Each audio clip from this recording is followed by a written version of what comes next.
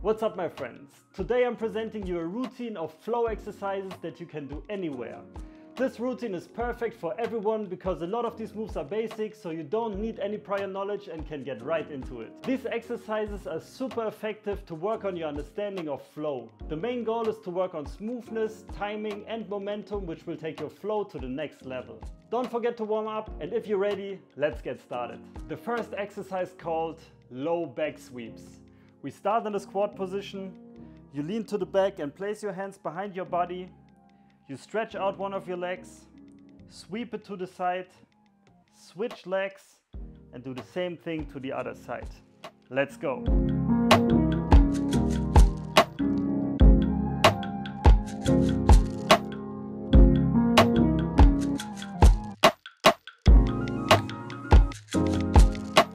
And like I said before, the goal is to keep the flow going, keep the momentum alive and never have a full stop of motion.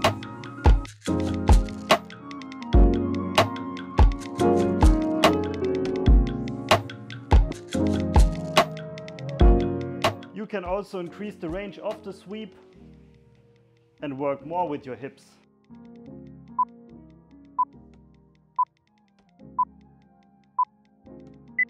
The next exercise called shoulder to shoulder and for this one we go into the push-up position. You make a step with your foot and in the moment you land, you raise the other one and do the same step to the other side.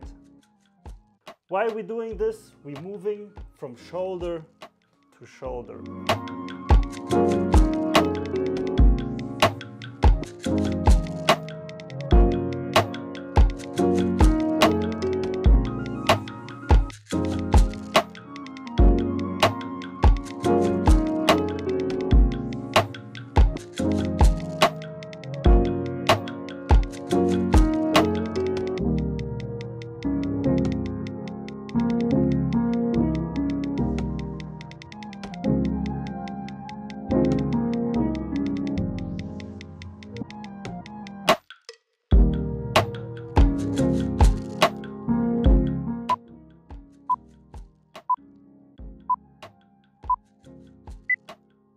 Next exercise called inside walks and has the same starting position than the first one.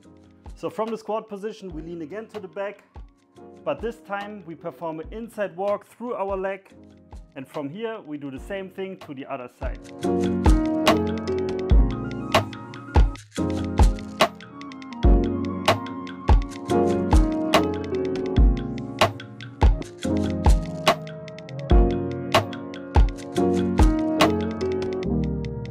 And this movement, but almost every other one from the routine, feel like a chain reaction. So one movement triggers the other one to create a continuous flow.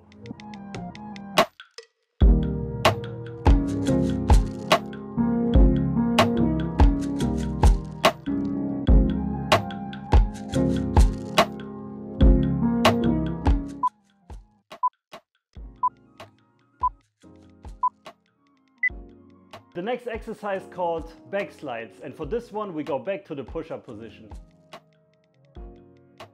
What we want to do from here is to make a slide around our foot and before we have a full stop of motion we start the slide with the other one.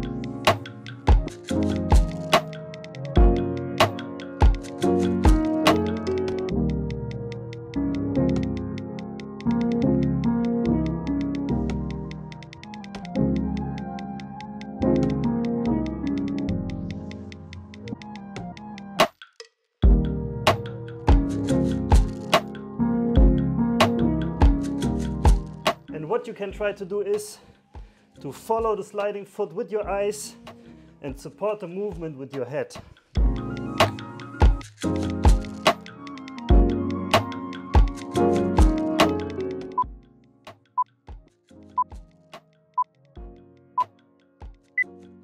The next exercise called leg switches. It's actually a preparation for the last exercise of today, but I also really like to practice it separately. You can give it a try.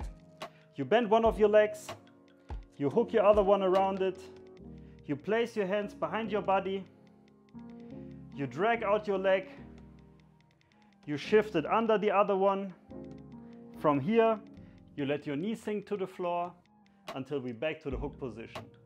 Now let's try everything with flow.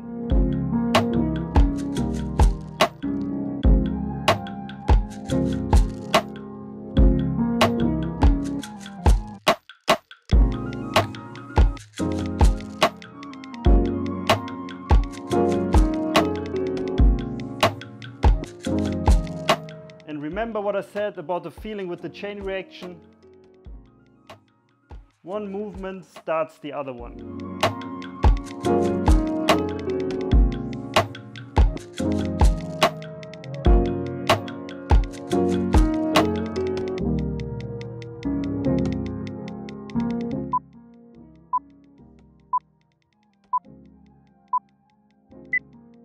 So the last exercise of this flow routine is a combination of the leg switches and the hook spin. If you're struggling with the hook spin, you can check out the World of Hook series here on my YouTube channel. So from this position, we start one of our leg switches.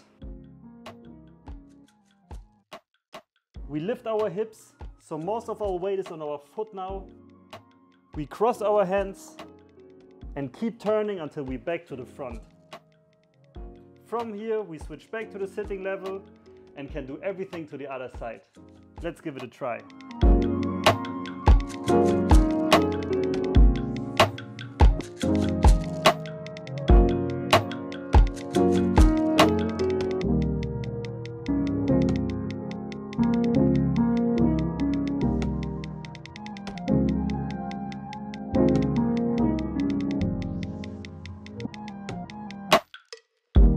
Try to have a steady flow through each element of this movement sequence.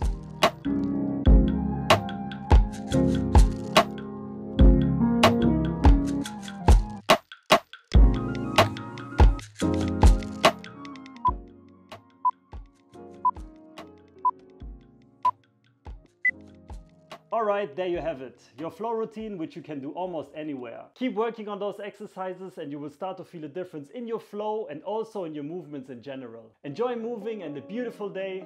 Your Lukas.